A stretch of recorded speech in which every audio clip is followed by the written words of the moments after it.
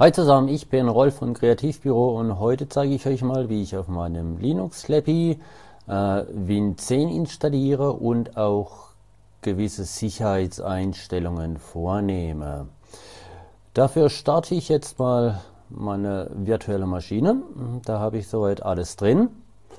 F12. Gucken wir mal. Abbrechen. So, passt. Meine virtuelle Maschine wird jetzt mal gestartet. Und rein vom Startvorgang braucht ihr jetzt ja erstmal nicht alles mitbekommen. Ich melde mich dann nachher wieder bei den wichtigen Sachen. So, nachdem ich jetzt meine, meinen Windows 7 Key eingegeben habe, komme ich hier auf die Microsoft Lizenzbedingungen. Wir schauen uns das gar nicht im Endeffekt alles an. Zusätzliche Bestimmungen und so weiter und so fort. Datenschutz. Ja, wir brauchen nicht drüber reden. Windows 10 ist kein datenschutzkonformes Programm als solches. Aber ich sage mir, hm, dann dürfte ich weder Google nehmen, noch Firefox, noch sonstig irgendwas. Die senden alle Daten. Aber wir können nachher ein bisschen was einstellen, wo wir einiges begrenzen können. Also ich gehe hier auf Weiter. Dann gehe ich hier auf Benutzer definiert, nicht zugewiesener Speicherplatz. Ich habe auf meiner Festplatte 51 GB. Fertig, freigegeben und jetzt gehe ich hier ganz einfach auf Weiter. Nun werden die Windows-Daten kopiert, installiert und nachher werden wir dann sehen, kommen wir an einen Bildschirm, wo man ein bisschen aufpassen muss zum Thema Installation. Da ist es jetzt egal, ob man auf der virtuellen installiert oder direkt installiert. Ähm, da sind es wichtig, die ersten Einstellungen vorzunehmen. So, nachdem Windows mal alles installiert hat, geht jetzt die Vorbereitung los. Das heißt, Windows 10 bereitet jetzt mal den, die Grundinstallation soweit vor, dass wir anfangen können, Windows die Genehmigung zu geben, uns auszuspionieren. Kleiner Spaß am Rande. Ähm, Windows 10 macht jetzt im Endeffekt das, was andere Systeme auch machen, alles innen drin und so weiter und so fort. Vorbereitungen, Treiber einstellen und, und, und. Und es ist, wie schon gesagt, es ist egal, ob virtuell, in einer virtuellen Maschine oder auch direkt äh, die Installationen, sie laufen alle gleich ab. So, es ist nochmal gestartet worden und nun kommen wir auf den ersten Bluescreen-Bildschirm. Kleiner Spaß, äh, nein, äh, der erste Einstellbildschirm. Kurz nochmal gesagt, ich arbeite hier mit einem i7 äh, Laptop mit 8 GB RAM und einer SSD-Festplatte drin. Als Grundsystem habe ich Ubuntu Mate drauf, die 16.4er Version und habe mir jetzt auch vorgenommen, nochmal hier in Windows 10 reinzuschnuppern. Mich interessiert halt auch dieses Bash, was sie machen mit diesem Linux nativ unter Windows. Mal gucken, was da bringt. Okay, lange Rede, kurzer Sinn. Schnell einsteigen. Die meisten klicken hier auf Express-Einstellungen verwenden. Dann gibst du natürlich von vornherein hier Windows, ja, spioniere mich aus. Wir gehen aber hier unten auf Einstellungen anpassen. So, und jetzt heißt es personalisieren. Hier kann man erstmal personalisieren, Sprache Freihand aus. Freihanddaten an Microsoft senden aus. Apps für die Verwendung ihrer Werbe-ID, wichtig, aus. Skype machen wir auch aus. So, und manche vergessen jetzt hier schon mal nach unten zu scrollen. So, und das hier ist ein ganz, ganz wichtiger Punkt. Mein Gerät suchen, aktivieren und Windows und Apps die Abfrage ihrer Positionsdaten einschließlich Positionsverlauf erlauben. Aus. So, nächste Seite. Verbindungen, Fehlerberichte. Aus. Automatische Verbindungen mit Netzwerken herstellen, die von Ihnen in Ihrem Kontakt genutzt werden. Aus. Vorübergehend automatisch eine Verbindung mit Hotspots herstellen ausmachen. Ganz wichtig. So, vollständige Fehler und Diagnose aus. So, weiter. Browser-Schutz und Update.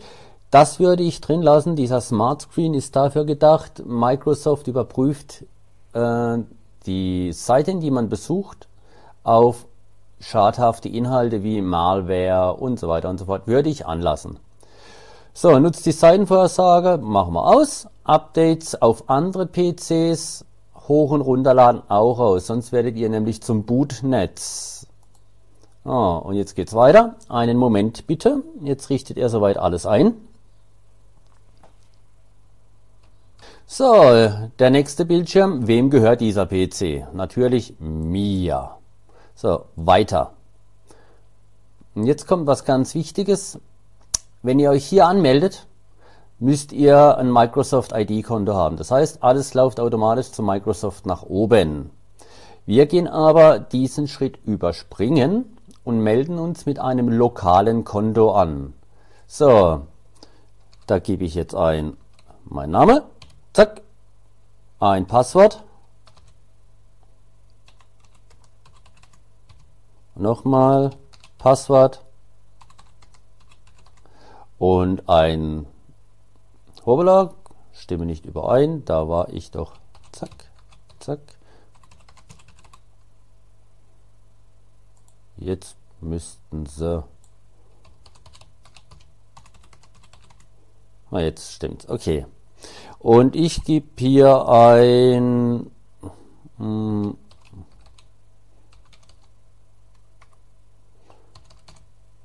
dann weiß ich schon mal welches. Und dann gehe ich hier auf Weiter. Und nun richtet er Microsoft das Win 10 fertig ein. So, wir haben unser Startbildschirm von Windows 10. Als erstes sucht natürlich Microsoft noch die Anzeigentreiber. Aber wir machen jetzt erstmal datenschutzrechtlich noch ein bisschen was anderes. So, wir gehen hier unten auf dieses ein Update wird installiert. Okay.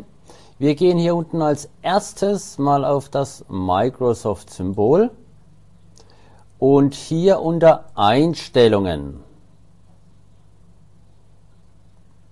So. Die Farbe ist ja mal nicht schlecht. So, dann gehen wir unter Datenschutz. Und jetzt haben wir hier unter Datenschutz nochmal die ganzen Sachen, wo wir vorhin im Großen ausgeschaltet geschaltet haben, nochmal im Einzelnen. Allerdings noch ein paar Positionen mehr. So, Datenschutzoption, so Smart Screen haben wir drin. Informationen, unsere Webseite auf eigene Sprachliste gestalten. Hier könnt ihr ausschalten. Hier könnt ihr das ausschalten, was ihr alles braucht. Die Position ist ausgeschaltet. Positionsverlauf klicken wir einmal auf Löschen. So. Die Kamera, die Kamera-Apps, das ist jetzt so eine Sache. Äh, ich würde sie im Ganzen anlassen, würde sie aber vom Microsoft Edge, wenn ihr eine Kamera drin habt, ausmachen. So, Mikrofon genauso. Ich werde es für Edge ausmachen, für die Xbox ausmachen. Ansonsten würde ich die Apps für die Verwendung meines Mikrofons erlauben ein, weil ihr sonst vielleicht Probleme haben solltet, wenn ihr ein Mikrofon anschaltet.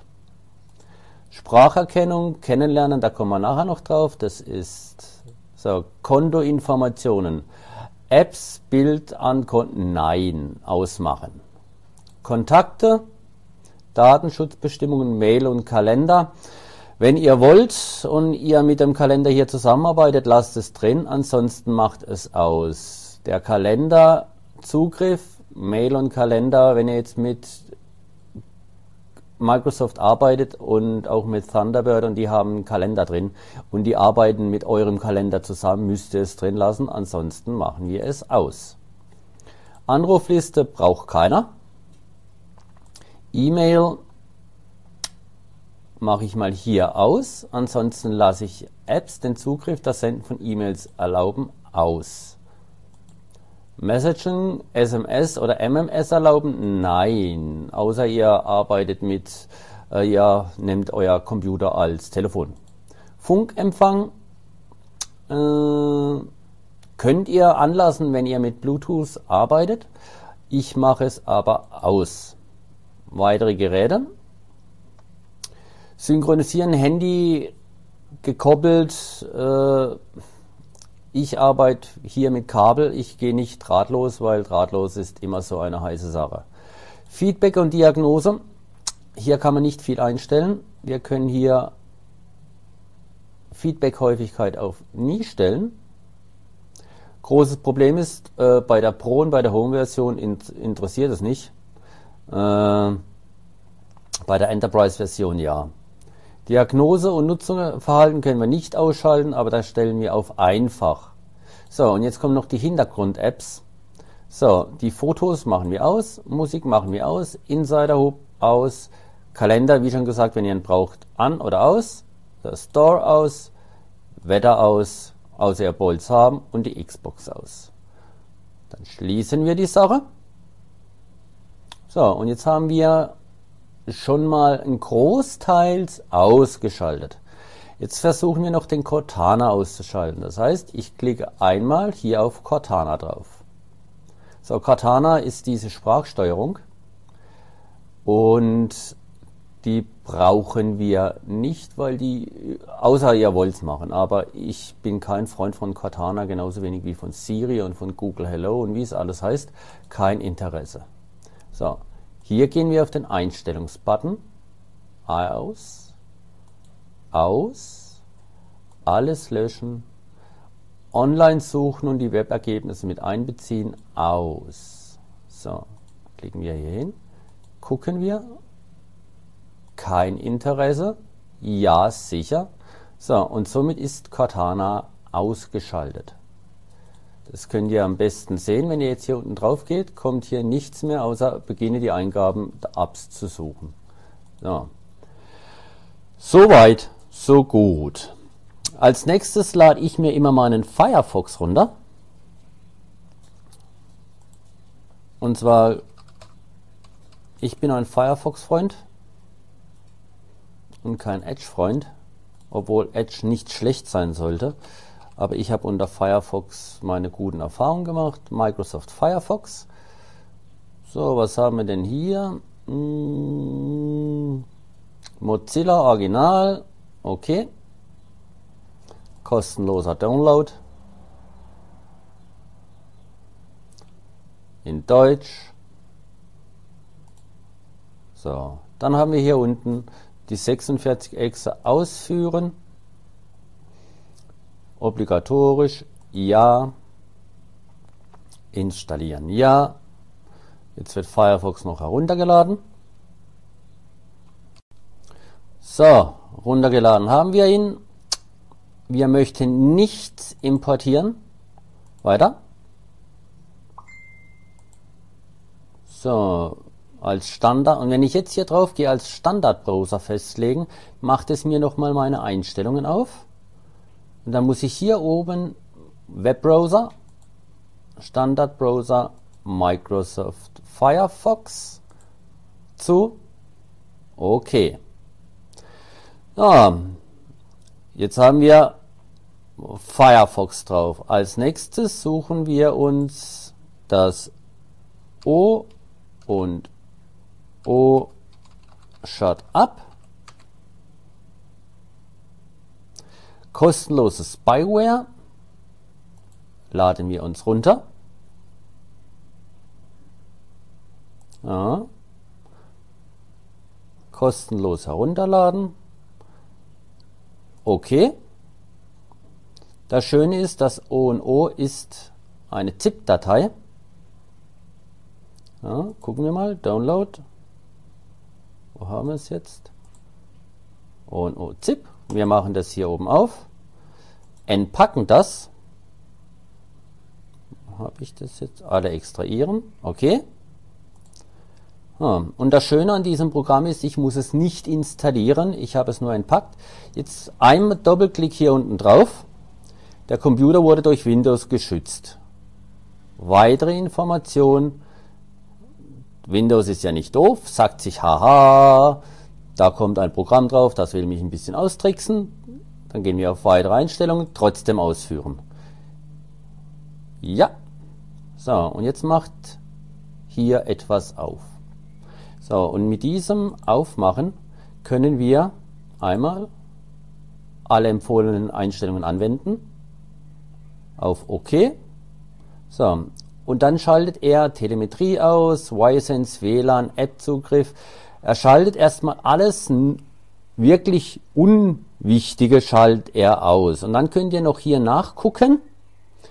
Was habe ich? Internet, Mediafile. Alles, was nicht ausgeschaltet ist, lest euch durch. Braucht ihr es, braucht ihr es nicht. Senden von Datenproben an Microsoft. Ihr könnt drauf. Sobald Windows Defender eine mögliche Bedrohung erkannt hat, können Datenproben. So. Wenn ihr nachher Microsoft Defender ausschaltet, dann braucht ihr das nicht. Dann könnt ihr das ganz einfach ausschalten. So, App-Zugriff auf Kalender deaktivieren. Da seht ihr alles, das, was wir vorhin schon eingestellt haben, ist hier entweder noch eingestellt oder nicht eingestellt. Geografische Position. Jetzt nochmal die Sache, wenn ihr die halt deaktiviert, kann es sein, wenn ihr ein Programm runterzieht, dass ihr die englische Version kriegt oder eine französische Version, was auch immer. Äh, macht es oder lasst es, egal. So, haben wir das alles zu? Es wurden Einstellungen verändert. Okay, okay, okay. Und schon ist er euer Win 10 einigermaßen sicherer. Jetzt noch eine Sache für die virtuellen Installationen. Wir haben jetzt Windows 10 installiert und jetzt gehen wir auf Gasterweiterungen einlegen. So, was, ist, was sind Gasterweiterungen? Gasterweiterungen sind äh, zusätzliche Plugins in VirtualBox. Ich arbeite nur mit VirtualBox, ähm, um zum Beispiel USB zu nutzen oder gemeinsame Ordner oder, oder, oder, oder auch den Bildschirm nachher größer zu machen. Und es geht nur mit diesen Gasterweiterungen. So, die Gasterweiterungen sind gleich runtergeladen und werden jetzt automatisch als ISO in die virtuelle CD eingelegt. So, einlegen. So. Auswurf erzwingen. So, nochmal. Virtuell. So, klicken wir drauf. Addition Exe ausführen. Ja weiter, weiter, DirectD-Unterstützung installieren und nun installiert VirtualBox automatisch diese ganzen Gasterweiterungen und ihr werdet nachher sehen, so hier Gerätesoftware installieren. Es ist alles Notwendige nachher mit drin. So, installiert, jetzt neu starten, fertigstellen und Windows wird neu gestartet. Ihr seht jetzt auch gleich, es geht relativ zügig. Wie schon gesagt, ich habe eine SSD, trotzdem neu starten. Ich habe eine SSD drin und ein i7, wie schon gesagt, äh, zwei Prozessoren habe ich meiner virtuellen Maschine zugeordnet und 5 GB RAM. So, jetzt startet er, Windows 10 Startbildschirm. Geht zwar nicht ganz so schnell wie in Original, aber trotzdem relativ zügig. Jetzt habe ich hier meinen Bildschirm. Jetzt gebe ich mein Passwort ein. Ja.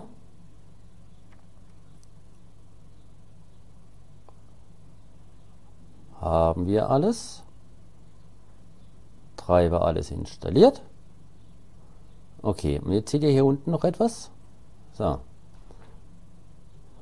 Von überall online brauchen wir nicht. So. Und jetzt fahren wir hier nochmal runter aus und stellen noch etwas ein. Herunterfahren. Das ist jetzt nur noch für die virtuellen, die wo die VirtualBox drin haben. Wir gehen hier auf unser System, ändern System haben wir alles. Ich habe hier 5 GB, USB-Tablet, Anzeige, alles okay. 3D-Beschleunigung aktivieren, 2D-Beschleunigung aktivieren, wenn ihr es drin habt. Massenspeicher habt ihr, haben wir das hier drin, Audio, okay. Netzwerk, serielle Schnittstelle, könnt ihr aktivieren. USB ist aktiviert. Gemeinsame Ordner. Als gemeinsame Ordner legen wir jetzt einen an. Gehen wir hier unter Linux, ändern Ordnerpfad und dann nehme ich hier einen neuen Ordner und gebe hier ein Win aus Tausch, Enter, auf Öffnen, automatisch einbinden, OK. Benutzerschnittstelle ist alles okay. Nochmal unter Allgemein, nochmal alles durchgucken. Hardware-Uhr, das haben wir, das haben wir. Netzwerk, erweitert, Kabel verbunden, okay. Schnittstelle, USB, gemeinsam Ordner, Schnittstelle, okay. Und jetzt starten wir nochmal. Windows 10 startet und jetzt möchte ich euch zeigen, normalerweise müsste es jetzt perfekt funktionieren, dass ich meinen Austauschordner hier drin habe.